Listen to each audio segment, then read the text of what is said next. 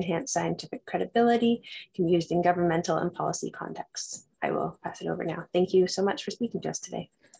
Thanks, everybody. Um, I probably have to ask the obligatory question of, is it working? Any thumbs up? Yeah, it looks good to me. Good. Okay, great, wonderful. Thank you. Um, so this, it's great to follow, um, um, uh, uh, you know, uh, Nicolas and uh, and Pacha, uh, uh, because uh, I also want to talk about reproducibility as it goes into um, into government.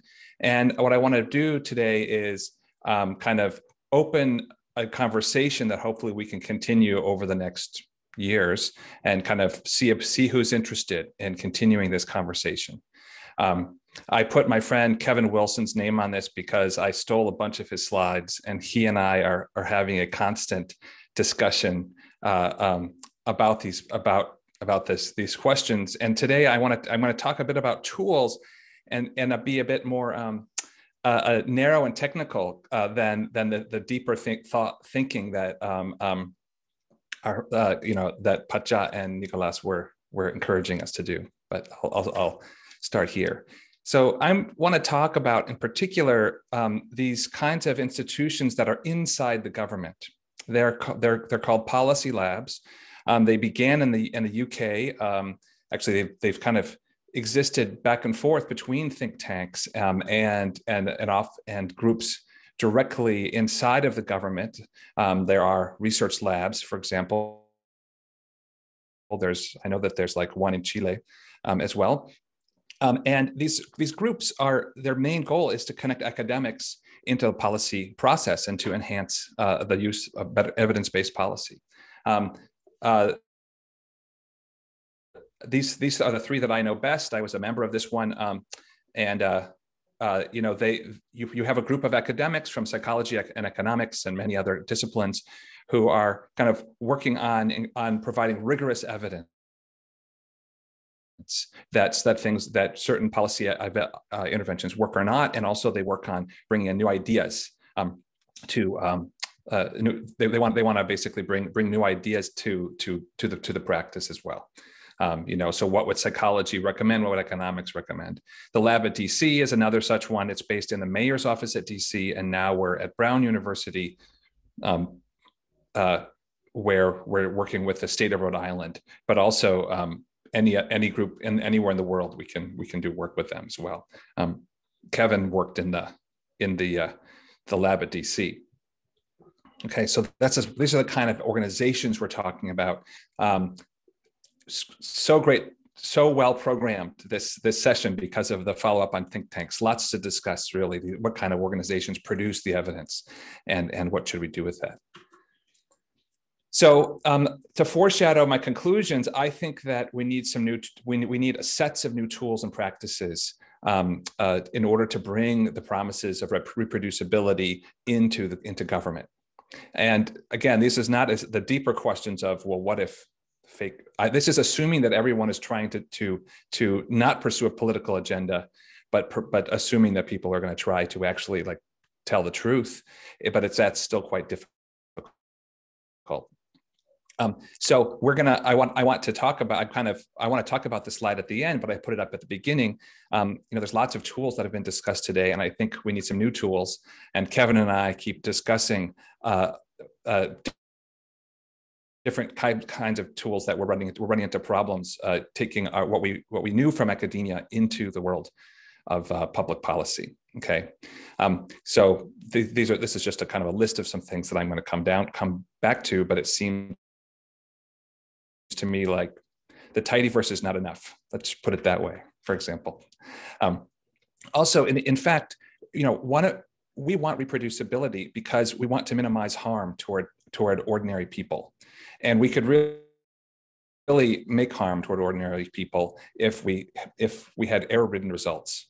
Um, uh, again, this is assuming that this is this is just good faith, but yet but yet errors, right? Um, so, so reproducibility becomes more important to us in some, some way or another.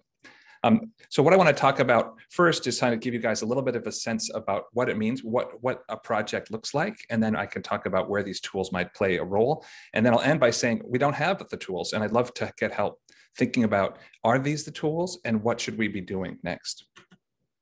So here's kind of a sense of, of, of the process. The, the governor says, hey, you know, um, we need to encourage people to get um, tested for COVID and people are, are, are not being tested or vaccinated, et cetera. What can we do? So we, we uh, gather a group together of um, human-centered designers and psychologists and econ economists um, together with the people who, are, who have been working with the public health agency for years. And we collaboratively generate new ideas about how we're going to change the messaging for different populations. Ideally, we will design uh, a, we will design a RCT, but we may include um, human-centered design-based qualitative research into this as well. Um, we'll often simulate the design. Um, we will also, now that we'll design and publish a pre-analysis plan um, on the OSF or on our website, if it was the OES. Um, we will field the intervention and we'll use the simulations that we did using an R package called Declare Design often to randomize. Maybe we'll need to help draw a sample. Here, we'll run into some, we, we begin to, you know, I, I didn't draw it here, but there are shifting groups of people throughout all of this. Here, drawing the sample requires different people randomizing requires different people. Field the field intervention may require a copy shop to make 10,000 letters and to send them to, to the correct people. We'll collect outcome data and we might like to add ad administrative outcomes like what is your testing result? Are you covid positive? Um, we might want to add census data so that we know whether or not our new policy is inadvertently uh, um, um, disadvantaging people from different neighborhoods uh, we might need to clean the data. Here's a line of code that maybe I think Kevin wrote. If your mailer ID contains the word Nimrod, that's not a valid ma mailer ID. We also, we, at this point, we need to be protecting all of this data because these are this is these are addresses. These maybe be people's COVID testing results, for example. So we have to put it in a very spec specific place.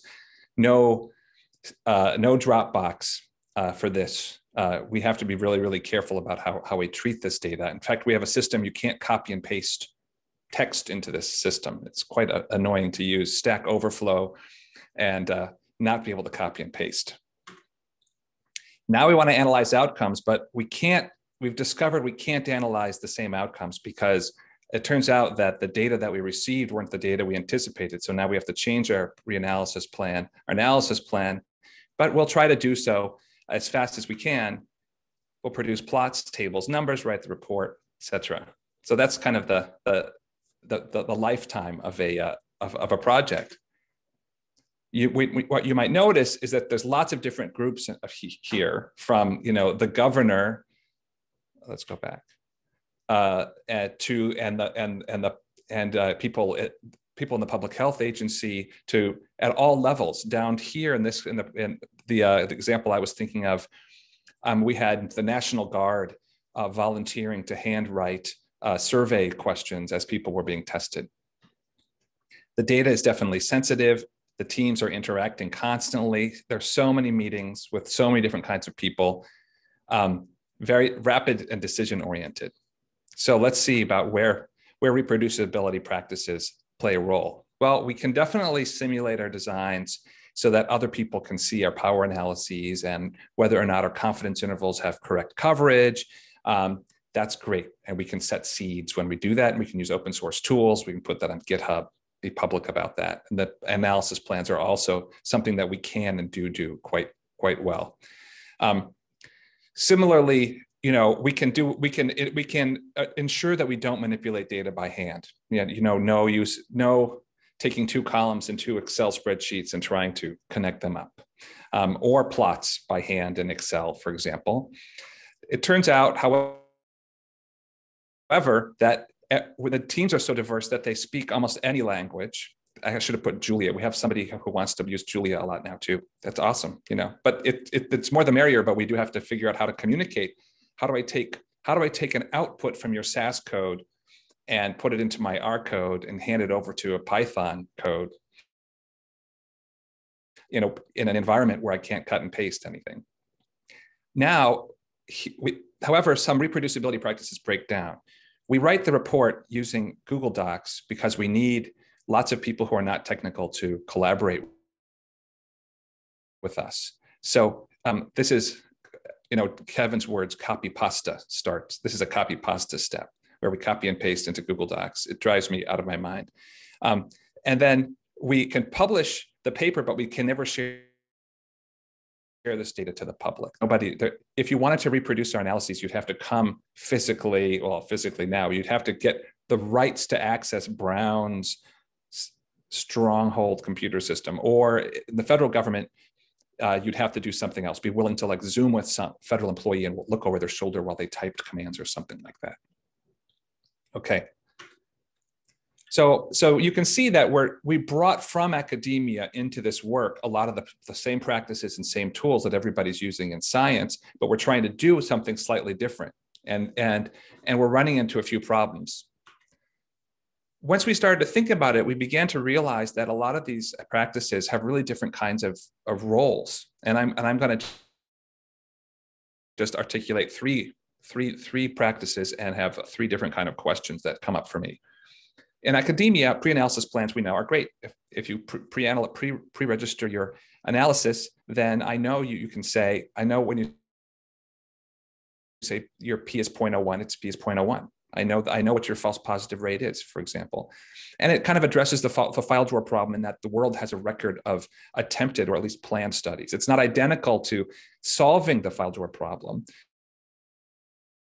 because um, we don't know what your result. You plan to do the study at least. In the policy labs, it becomes even more important. On the one hand, if I if you if I do a, a, a study of um, of uh, police body camera wearing, um, depending on the results, um, uh, you may be very likely to dis- to to uh, discount this evidence and say that that's just you know a proof that you are uh, you know uh, in the pay of the police or in the pay of the Black Lives Matter movement.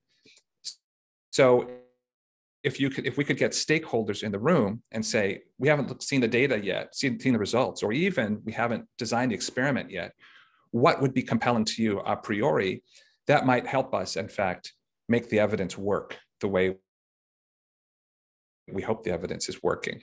Um, there's been a little effort on that. That's why i wrote the word Yokum he's the director of our lab and was at the lab at dc and did, did the body camera work.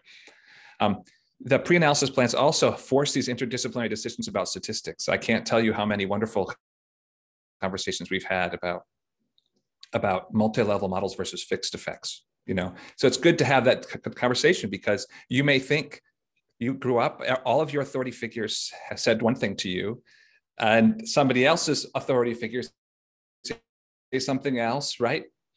And uh, we, but you're on a team, and you have to make a decision in three days so you have to make some kind of a decision. What on what basis will you make those decisions? So we, I, in the rooms that I've been in, I've tried to argue against uh, arguments from authority, but in any case, we have good discussions. Finally, the pre-analysis plans, if they're always public, shows that we, we're never hiding our work. Every study we do, we declare that we're doing it.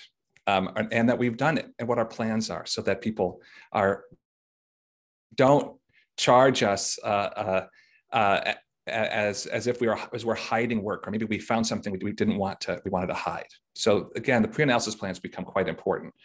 And but we don't actually have formalized ways to involve the public in our work for example. And i don't even know what would happen if we had a meeting of, of black lives uh, matter activists and uh, police activists in the same room to discuss analysis. So i think that we'd have to think hard about how to think how to think through conflictual uh, a moment, you know, evidence about about uh, you know um, topics that have a lot of conflict. Um, now, in science, when we think about about about errors in code and things like that, you know, in the end, we we think, well, he corrects the errors. We have peer review, we have public data now. Um, the, the publications I publish in, they force me to send me their code, and I learn that I haven't anticipated that Windows needs to reproduce my analyses or that you know red hat linux needs it to be different or or whatever. So so you know in the academic side uh, we if we make some errors they don't make that big of that they're not they're not tremendous in terms of their their consequences. Well they could be really bad for my career, but probably they'll be caught over time and and my in my career by then will be over if by the time anybody reads a paper that I wrote, for example. You know, that's that's like small comfort uh, among academics, right? Now, in policy labs, we have a different problem. That people want to make a decision based on our evidence as fast as possible. The data cannot be publicly scrutinized, and we have to move as fast as we can, right? So, and the errors can affect the whole populations. And the other thing is that the people who are reading our reports don't know to ask, you know, um, what did you do about those duplicate IDs? Did you run it twice using what? What did you do with the person whose identify ID number was Nimrod? right? You know, the governor doesn't want to see that. So, you know, what can we do? Um, it, we came from academia with wonderful IDEs like RStudio or, you know, Jupyter Lab with chunks of code that we can play with and learn from and run it, but we can run them out of order. We could run the files out of order. When I pass off an output that's been geocoded from Python to an R an R script that is doing some permutation inference or you know that would be hard for me to rewrite in python how can i make sure that they run in, in the right kind of order so we're, we're we, we've been running into this and kevin and i have some ideas about using make files and we've cobbled together other some things but it's not very clear but we're very kind of worried about this um, uh, the Office of Evaluation Scientists, Sciences has um, has independent groups within their group reanalyze every single study. So they just they just spend a lot of time ensuring that every study gets reanalyzed um, uh, from scratch, basically. Um, finally, uh, the statistically inference is not really designed for robust and rapid decision making, right? I mean, you know, on the one hand, in Fisher's lady tasting tea, he might be trying to encouraging us to decide that the lady can actually truly distinguish the milk first versus the, the, the tea first. But actually, it's really just evidence in favor or against that claim. He'd probably say we have to have Miriam, I think that's what's her name, um, Muriel, Muriel, um, Dr. Muriel, you know, taste the tea again in between publishing like the 50 articles that she had, I think, already published by then. No, so so in a way like our very tools don't aren't encourage us to kind of slowly gather consensus and accumulation right? Even if they appear rigorous they're really not meant to guide immediate decisions right? So you know one question that has come up for me is whether we need to build the cost of errors into alpha or into priors or something along those lines. And that the dilemma that we've had here is that when we've gone to policymakers and said, even things like, what's your minimally detectable effect? Like below which effect is it not worth doing this study?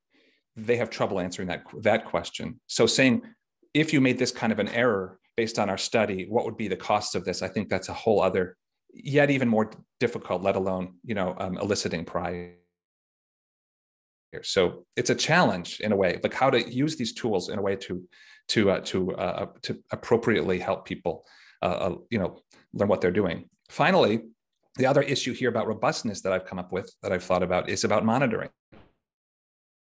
So we tell them, tell you that something works. Small class sizes improve, uh, you know, student outcomes. We might say we might discover that using an RCT in Tennessee, as they did.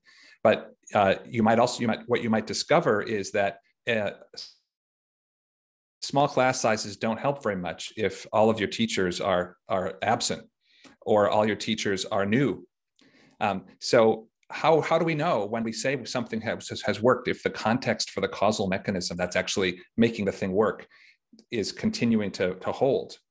We have the same problem in in the data science side of things when we're we try to predict when students are going to drop out of high school, but then COVID comes the covariate to outcome relationships change suddenly. And, and now we can imagine, we can say, here's COVID, let's look back at all of our predictive, mo- predictive models. But what if there's a more subtle kinds of things changing in the world that, uh, that aren't letting us know those things? And those, these are another questions we have too, like monitoring, follow up. Um, those are questions we have. So now I hope that I've justified for you why I'd like to see some more tools for participant participatory pre-analysis planning, maybe for blind reanalyses like you know Kaggle, like what if what if citizens could reanalyze my data? Or what if there were great tools for unit testing of data ta tasks, like uh, like a snotty version of R that said, before if you type ggplot without running a unit test, it would complain to you, or something like that. Um, better build systems that are that that that realize that we're diverse and that we have diverse tasks. So so Py, only Python oriented or only R oriented build systems can't work for us. Um, um, I had the automated data cleaning. You know, probably we should never forget to ask whether are, there are duplicate IDs. There, there's probably a series of things that we should be doing to, to ensure that we aren't making errors. That again, in the in lab setting, so academic lab, we're not, we, we're, it's not common. Finally, a big hangup for us is, is collaborative writing um, in ways that with, with non-technical audience um, and avoiding the copy and paste errors that may that may uh, you know sneak in. And we haven't figured that out, out yet either. Um, so those are these are some of the ideas that I've, I've put up, and I've shared the slides because I know I talked fast. Um, and I'd love to to to have further conversation about about all of these uh, topics with with with any of you. So um, again, I put the PDF in, so you don't even have to scramble to write down my uh, uh, uh email address. I'm there. So, and there's some more. I, we're not so alone. Yes. Sure. Uh, Thanks so much. That was just um, just wonderful. Um, my wife actually worked with um, Kevin uh, for for uh, for a summer or something like that. He's uh, just the smartest uh, little cookie, isn't he? Um, do, we've got a couple of minutes.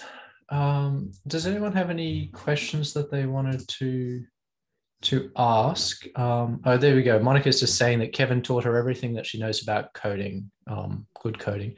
Uh, Monica also asked, um, are there any jobs going at um, at Policy Lab? So there's always, yeah. Well, and uh, also, uh, does anyone have any serious questions before yeah, I sure. before I ruin this this wonderful talk? Um, Uh, Patrick, um, would you, Patrick says, would you consider modern tool training as mandatory to join public offices? For instance, Make or GitHub Actions or take stuff you don't learn at college? Uh, yeah, I mean, I think that that that to join at, at the tech level, at the at an analytic level, then you absolutely need to have some some some of these abilities. Um, the idea of version control, the idea of using some of these, one of these open source tools. I mean, we've found that Python and R are a combination because in Python, R was written by statisticians to do statistics, right? And so mm. the Cochran Mantel Haenszel test, it's nicely done there. If you want to do permutations, it's there, right? I don't, and, and it's been there for years, and I don't want to have to rewrite it in Python. Kevin could re- easily rewrite it in Python, but it would take him, it would distract him. Whereas Python is so great for geocoding tons of addresses or, you know, doing other many, many other sorts of things. So it's kind of a multi-tool world out there uh, in terms of in terms of analytics. Sylvia, did you put your video on to ask a question or just no? Okay, just to ask. Amy, did you have any questions? One more minute.